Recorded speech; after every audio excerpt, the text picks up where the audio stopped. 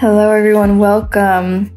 I'm Angelia, the face and creator of Ancestors Mama, and today we're going to be doing things a little bit differently. I was called and nudged by spirit and my ancestors to do a reading from our ancestors for this Capricorn full moon. And before we get into it, I just want to um, share a little bit of a story time. So normally, uh, the way I start my mornings is I'll go meditate do reading and journal and whatnot and sit at my altar. But today I was guided to go outside instead and do some yoga and exercise and really ground my energy. And so a lot of the times as a channeler, as a vessel, I am given certain initiations and I have to live through certain experiences to give the wisdom, the medicine that I receive myself as a channeler, as a vessel to help others with my intuition. And so that's exactly what happened today as I went outside. I did some yoga and I was noticing some themes come up inside and uh, I was nudged to, you know, go outside and really release. I've been doing some clearing and really released by just being physical, by being present outside. And so I then pulled the cards that you see right now, uh, you know, I channeled some messages and I wrote them down. Um, if you're on my email list, you probably uh, already got the email or about to receive it, um, where I go a little bit more in depth of um, the energy of the Capricorn full moon in relation to our connection with our ancestors and clearing generational trauma and whatnot. And so it's so funny because this reading literally reflects the channel messages that I was receiving. And so, Spirit, my ancestors, and my spiritual team, they were showing me how a lot of times, unfortunately, just, you know, just just by habit that we we set, we tend to put things on the back burner like we'll have certain memories come up and you know, if it's a painful memory or something that we're insecure about that we just ignore, ignore, ignore. And so what they were calling me to, to show you and share with you is about this process of going deep with our emotions since we're in cancer season, which is all about coming home, heart, love, support, nurturing our ancestral ties, generational trauma, and things of that nature, and safety, support, and protection. And so I've been really sitting with this energy of, wow, something was knocking. uh, because I'm a Capricorn myself, and this is something that a life lesson I'm having to learn in understanding um, the steadiness, the groundedness, the lessons, and everything. And I was also given the symbology of the de- the Devil card in tarot because it is associated with Capricorn and Saturn. And so what they were showing me is, you know, a lot of times our our need to numb, to distract ourselves, any addictions, any self-sabotaging behaviors or whatnot are coming from this shadow, our shadow self, where we try to hide our emotions, we bury, we brush things under the carpet, if you will, and bury them, and ignore them. And this Capricorn full moon, Capricorn super moon, is an opportunity to go deeper into those emotions and really face ourselves because healing, whole healing, is about integration. It's about accepting both sides of ourselves. It's about accepting the light and the dark. It's about accepting all the things that we were made to believe were bad about ourselves. Because the more we deny aspects of ourselves, the more we numb the pain, the more we distract ourselves, the more we do things that are self-sabotaging, such, such as procrastinate or go to certain habits and addictions that we know are bad for us are going to back to certain relationships because we've been told, for example, um, you know, maybe you you had a certain type of childhood and it made you believe a certain way about yourself, and you keep attracting this type of partner, and it's a cycle and a pattern that tends to repeat itself. And so, what Spirit was showing me, in order to break the chains, in order to break these cycles and toxic patterns, we really need to go deep into our shadow and so this deck that I'm working with right here is the Boriken Oracle deck. um, because I am Puerto Rican. And so, uh, me being Puerto Rican, working with the medicine of my ancestors. And so this card says, let's see if this, it does not, it's not gonna, but it is Diosa Luna. Uh, moon goddess reminds us reminds you not to ignore your emotions sit with them when they surface feel listen but do not run from them your shadow exists not to terrify you but to teach you how to cope and tame your fears. And so that's what they were showing me myself as well through my own experience. There were certain memories that kept coming up and one of which i i remember from a young age. Um, at one point in my life i went to a school where my brother and i and our neighbors like were one of very few um, hispanics in the school and everybody else was white and i felt very insecure about that and at that age that was the first memory I felt ugly. I was made fun of, I was bullied, and I carried that with me for a very long time. The spirit was showing me this memory, you know, because every time I, you know, a self sabotaging behavior, for example, every time I call myself ugly or I think I'm too fat or whatever the case may be, you know, we all have these insecurities and we, we doubt ourselves and we belittle ourselves. That's when we keep the bondage of this unhealthy toxic cycle repeated in our mind's eye. And, you know, it, I was already thinking of the devil card when I was going through this process myself. But of course, synchronistically, El Diablo, the devil card came out as well and it says El Diablo, the devil, represent toxic ties, addiction, bondage, manipulation, and self-sabotage behaviors. You are in control of your own life and you are not bound by anything other than your own behavior. Free yourself. And so with these two cards together, I was, uh, you know, this is actually how they were pulled, but I was called to pull them from right to left instead of left to right. And the reason being because in order to get to this the space of awakening, of hearing the messages clearly. We need to accept all aspects of ourselves, the good, the bad, and ugly, in order to transcend, because all parts of ourselves are worthy, and only when we accept and embrace the parts of ourselves that were deemed unacceptable by others or ourselves, our own insecurities, that's when we can truly transcend and and grow and evolve as sovereign beings but there is a devil inside of all of us, and all of us are tempted, you know, to numb, to distract, and do those things of that nature in order to just get by in life. It's a natural coping mechanism, right? But what spirit is telling us is to sit in solitude and in integrating our shadow, in integrating the ugly parts of ourselves that we not we don't like to admit the self-sabotaging behaviors, those learned behaviors from generations, you know, from our parents, from our grandparents and whatnot, telling us that we have to be a certain way to deny ourselves to um, just brush our feelings under the carpet and deny them and bury them.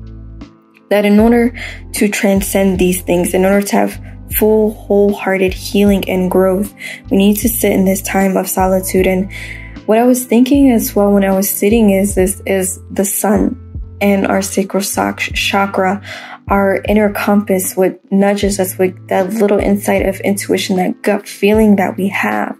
And we can only hear the clear messages from our ancestors, from our higher self and our spiritual team in this time of solitude. We, when we allow ourselves to quiet the mind, quiet the chaos, quiet the pain. But again, this only comes from sitting with ourselves and not silencing it, not bypassing it, but fully enmeshing in it in order for it to hear the wisdom, to hear the messages in those insecurities, in those limiting beliefs, in those old bondages and chains that have been holding us back for so long. Because in order to move to a new chapter, in order to move to the next stage of our life, we have to really fully integrate and learn the lessons for our soul's growth and evolution. And again, we can only do that when we have that quiet time with ourselves to awaken, to open our mind's eye. And this says, a spiritual awakening, clarity, and or consciousness is on the horizon. This card represents the blindfold being lifted and finally being able to see this, the truth, a wake up call. And I, and I was talking about a soul's truth, our soul's truth, because a lot of times, a lot of these insecurities, they don't come from us. They come from other people what we're told is acceptable, what we're told we have to be in order to be loved, in order to be, to be supported and I feel as though, as much as, you know, these emotions and these old memories or these self sabotaging behaviors are coming up to the surface, there's also this underlining feeling of something beyond, something just beyond the horizon. But in order not to sabotage those things, in order to have real belief that a miracle is on the way or whatever manifestation or your soul's desire is on the way, we have to face our fears. We have to face our shadows and not have an ego death as if our ego is not part of us, as if our ego is not allowed to come with us. It is part of us because it's always showing us. And in order for us to be awakened, to be um, in alignment with our soul's truth, our inner compass, and our higher self, we have to learn this the lessons through our shadows, through our old limiting beliefs, through these these toxic chains and cycles that are repeated. And also, if you're on the path of generational healing, of connecting with your ancestors, the only way we can understand the, the other side of what's right for us is understanding those toxic chains, cycles, and patterns that are deeply rooted in our family that's been occurring for generations. That's the only way we can have this illumination, if you will. And that's what full moons are all about. They're all about illuminating the darkness, the shadow, in order for us to see what's happening on a subconscious level that's holding us back, holding us hostage, right? And so I also want to pull from these cards. I already cleared, cut, and um, blessed them and so what I what I have intention for these cards is these are the um, mystical shaman oracle deck.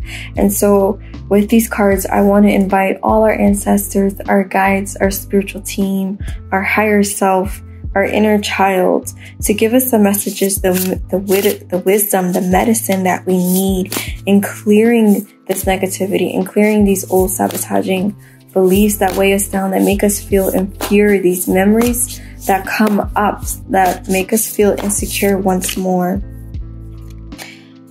Um, yeah. So first card that got pulled is Curse. And the second is Flow. One more spirit. As I put my ego to the side to be a clear channel and vessel for any messages anyone needs to know and hear. Okay, so this is actually my second time filming. Let's see if we can put this in the view. Um, and these three cards, let's move this one. Right here, flow, ego, and the child's eye received the first time filming and my camera kept cutting out. So this is the second time filming, but everything happens for a reason because this card came out and this card did not come out at first. And so this card cursed this is talking about what I was telling you. Notice how she has something wrapped around her mouth. And the curse is silencing ourselves. This curse is those times and those memories or those people that make us believe like in order to feel acceptable, in order to feel worthy, in order to receive blessings and move on and be successful or whatever the case may be, that we need to hide and silence parts of ourselves that are deemed unworthy. And that's the curse. And a lot of times, this is a generational curse. This is things that happen generationally about stuff we don't talk about. And, you know, what goes on in the house stays in the house. And, you know, those things that people, our family may say, gaslighting us, saying that, you know, oh, we're just playing around or things like that. Those are things that might be coming up to the surface. And these are things that happen that are, they're pattern, they're a generational pattern that keeps happening that, you know, it's your family, so you just have to deal with it. Or, you know, if it's friends or if it's like the memory that I talked about, it's something small, you know, it just happened from my childhood. It's not that serious. But the curse is, and the curse is only repeated when we silence ourselves in our way, in that way, because that's spirits, our ancestors, our higher self nudging us to look more deeply within the shadows, the parts of ourselves that we feel like are ugly, that there's something wrong with, or if we just cast it aside, they don't exist. But that's that's the way the curse continues. And in order to release these things, to surrender these things, notice how, you know, she's behind, she's in front of a full moon and she's holding water is to be in flow and surrender to our emotions. Because a lot of times our emotions are our inner compass and they're guiding our way. And unfortunately, at this time, too, because with full moons, our emotions can come up to the surface and they can become erratic. And we can be so enmeshed in our emotions that we also don't see things. Thus, coming from a place when we keep ignoring things, that things boil up to the surface. And in order to calm the waters within us, we have to sit with ourselves, like I said, and really sit deep with our emotions. And also, healing doesn't only occur on an individual level. You know, if you have any family, any friends, any people of support, or if it's just your ancestors and your spiritual team, to surrender these fears, surrender these blockages, these shadows, these aspects of ourselves that we feel are ugly in order to gain a new perspective. And that's what the ego medicine is showing us. And that's the key and the whole point to this full moon is to get, gain a greater perspective, not only of ourselves, but of our light, of our path, of where we're going, of who we're meant to be, the whole purpose of our being, our medicine, and what we came here to be because we can never know that if we keep hiding aspects of ourselves that may seem on the surface ugly, bad, or whatever the case may be. But they're our own medicine in order to awaken a certain part of ourselves that would not be awakened otherwise. And then the last card right here from this deck is the child. And the way through this is connecting with our inner child because a lot of times, just like the phases of the moon, you know, that's being shown around the child, a lot of times our inner child shows us phases of ourselves that we have hidden phases of ourselves that we have casted to the side because we that's what we're taught by society. That's what we're taught by our family a lot of times. Um, and we continue that cycle. We continue that pattern of silencing our child, of silencing our emotions every time we deny our feelings, every time we deny our emotions, every time we deny those memories of our inner child, like they don't affect us. A lot of times our inner child is is guiding the way to who we are because as we're, when we're children, we don't know any better of how the world is conditioned that we have to be- behave a certain way. There's something innate in us already that's instinctual that we know it, it just feels right. And so in order to to have that part of ourselves integrated and fully connected with ourselves again, we have to listen to our inner child, how we silence our inner child so we can gain that lightness, that, that, that lightness, that like spark that we all had as children, um, to show us, to lead us the way in breaking these bonds and breaking these toxic cycles, but also to show us who we really are as people, because the point is to come back to ourselves. And speaking of purpose, I'm pulling from the life purpose deck as well to show us any more medicine. What is the point of this full moon in Capricorn? What are our ancestors, our guides, wanting us to know at this time for this the healing and the medicine and the wisdom for this Capricorn full moon and integrating our emotions and integrating our shadow, integrating our ego.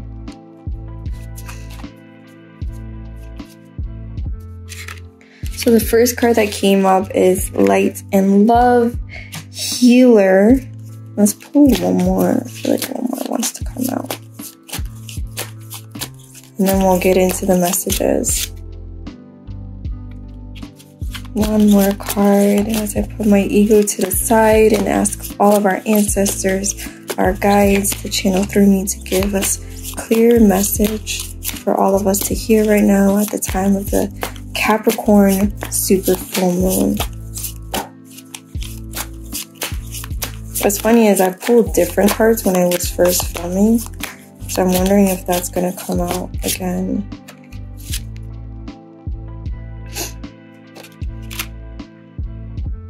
Okay, so the first card that came up was Light and Love, and then Healer. these two cards did not come up the first time I was shuffling, but these two cards did as my camera came out, uh, cut out again, but it's okay. So what they're showing me, the whole purpose, because my intention with the life purpose deck was to see the purpose of the medicine, the wisdom that's being shown to us at this time for this Capricorn full moon. And the purpose is to come back to our light. You know, as we integrate our shadows, it is to, sh to show us also our light and love to come back to our soul's inner truth and remember that light and love is the only true thing and not everything is going to be rainbows and sunshine but the whole point of us seeing and witnessing our own pain is to come back to this love and this light this innocence of who we were as children before the world told us who to be, right? And our purpose is to spread our own unique expression of light and love. And in order to do that, we have to we have to heal and integrate those shadows that make us feel as though we're not good enough.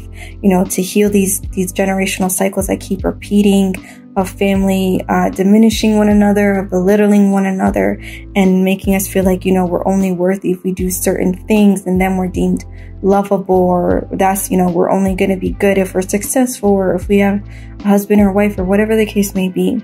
To heal these old toxic patterns that keep repeating, that hold us bondage, that we know are not for our highest good.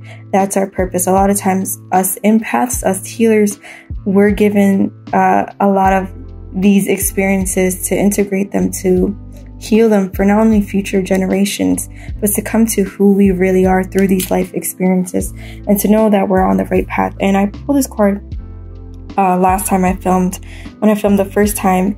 And so when I, when I see this angel, I just, er, I see how free she is. You know, she's basking in the sun rays. And when I'm looking at the rainbow that's going down on her, I'm reminded of our chakras, of everything being unblocked. You know, that is the, the ultimate goal, right?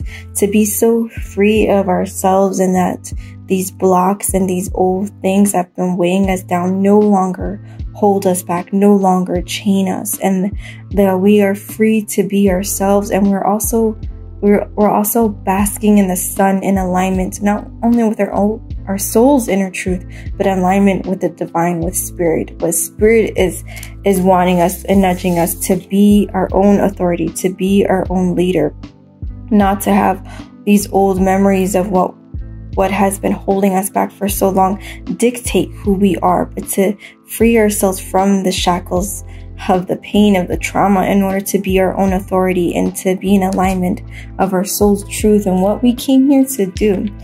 So I'm going to ask from these dice that I also got with the Borinquen Oracle deck any other messages that spirit, our ancestors, our angels, our guides, our whole spiritual team want us to know for our soul's evolution and growth at this time of immense healing for this Capricorn super full moon. I like to kiss my dice. So, this, the 55, every time I see 5 5, um, it reminds me of change. That change is on the way. And I'm reminded of this uh, card that I was talking about before, and how we we can almost peel back the layer and peel the curtain, and we see something is on the way. We feel we feel this inside like something is rumbling to the surface and there is change on the way with this confirmation of, of yes? But when we're in flow of life of healing of surrendering of uh, aligning with our emotions of listening to our emotions. And so and so if this is something like you like to go deeper on and you're interested in working with me, I will link down below. I'm opening up a new service for full moon readings and it's going to be on sale for this full moon only where you can get a 30 minute reading slash healing session. And I will also be doing a ritual that's uh, unique to your needs for this full moon and clearing anything. And speaking of clearing if you, you know, want to work with any type of anointing oil or anything like that. Right here, I do have my homemade Florida water or Agua de Florida, which I do channel everything I make, I channel with my ancestors and my guides. And speaking of clearing negativity, I'm adding newly, I'm going to be charging this for the Capricorn full moon. Um, this has been sitting a while in oil, my Ruda or Rue oil. This is about clearing any negativity, any blocks, or anything like that. And yeah, if you are on my email list, which you probably saw, I talk a little bit more in depth with some journal prompts about these things and give you guys some book recommendations and some exercises that you'll be doing. Speaking which, I want to add also because Capricorn is such a physical earthly sign to make sure that we're grounding ourselves through this process. Um, I was Spirit was telling me that breath work is extremely important right now. And I think that's what they're talking about also as well with this flow, um, breath work to release our emotions and yeah, I hope you guys found this helpful.